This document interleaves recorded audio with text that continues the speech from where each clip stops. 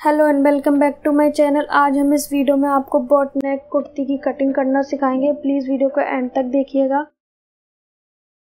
यहाँ पर मैंने फ्रंट पार्ट के लिए कपड़ा लिया है। फ्रंट पार्ट की ड्राफ्टिंग करेंगे पहले हम। बोट नेक कुर्ती बनाएँगे हम इससे।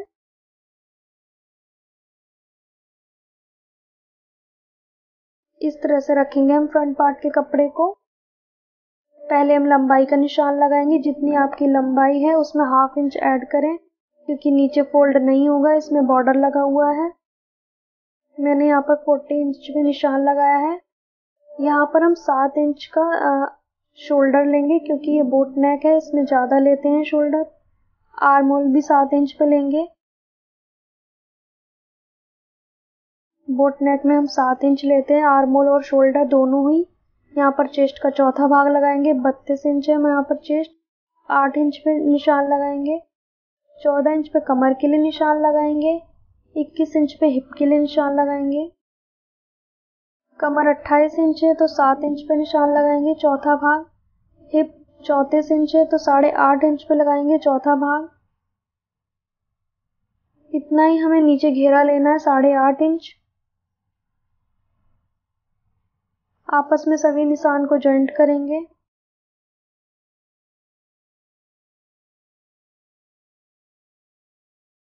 आपको चौथा भाग ही लेना है, चेस्ट और कमर हिप तीनों का।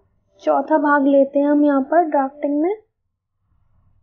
दो इंच मार्जिन लिया है मैंने कपड़े में। एक इंच हम निशान लगाएँगे और बैक आर्मोल का शेप देंगे।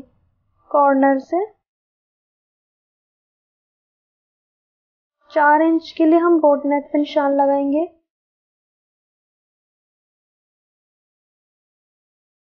एक इंच हम तीरे को डाउन करेंगे इस तरह से। जो हमने शोल्डर लिया है, इसको एक इंच हम डाउन कर देंगे। क्योंकि नेक बहुत छोटा है बैक साइड का, इसलिए यहाँ पर डेढ़ इंच ऊपर इंच टेप इस तरह से रखेंगे। हाफ़ इंच बाहर को निकालेंगे और फ्रंट आर्मोल का शेप देंगे।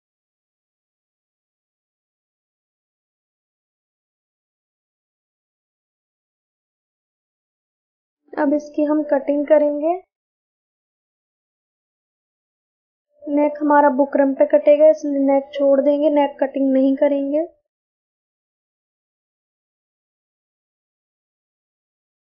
यहाँ पर शोल्डर डाउन किया है मैंने एक इंच तो उसे भी कट करेंगे इस तरह से।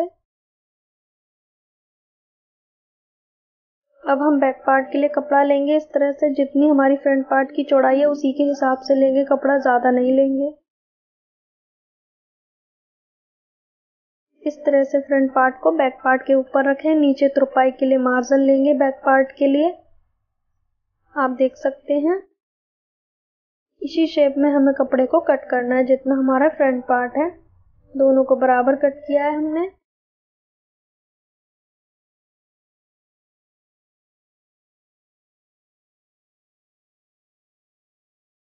इस तरह से निशान लगाएँगे।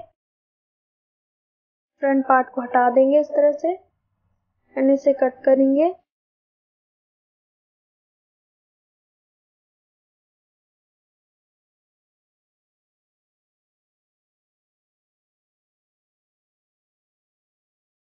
फ्रंट पार्ट को लेंगे और फ्रंट आर्मोल कट करेंगे इसका।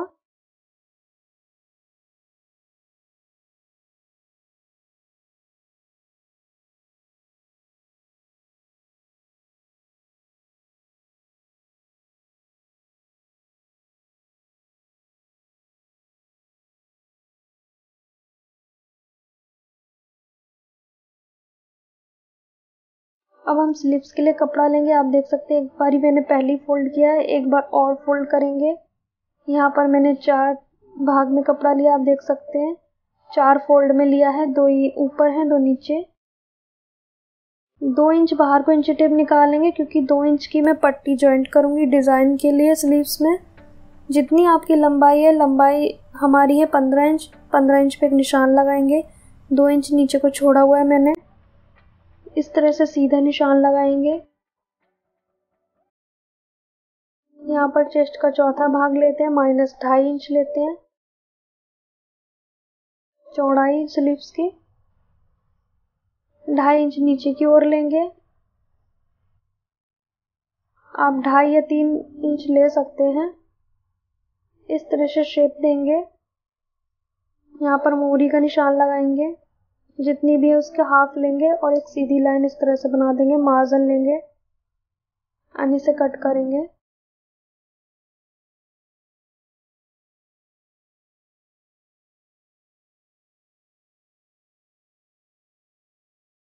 अब यहाँ पर फ्रंट आर्मोल कट करेंगे, इस तरह से दो पार्ट नीचे छोड़ेंगे, दो ऊपर उठाएँगे।